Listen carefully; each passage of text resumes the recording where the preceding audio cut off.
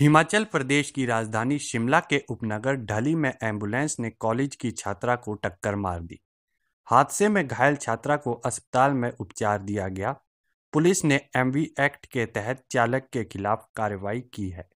प्राप्त जानकारी के अनुसार जिला कुल्लू की तहसील आनी निवासी अंजलि 19 वर्षीय कॉलेज से पैदल घर लौट रही थी। इसी दौरान ढली बाईपास में सामने की तरफ़ से आ रही एंबुलेंस ने छात्रा को टक्कर मार दी।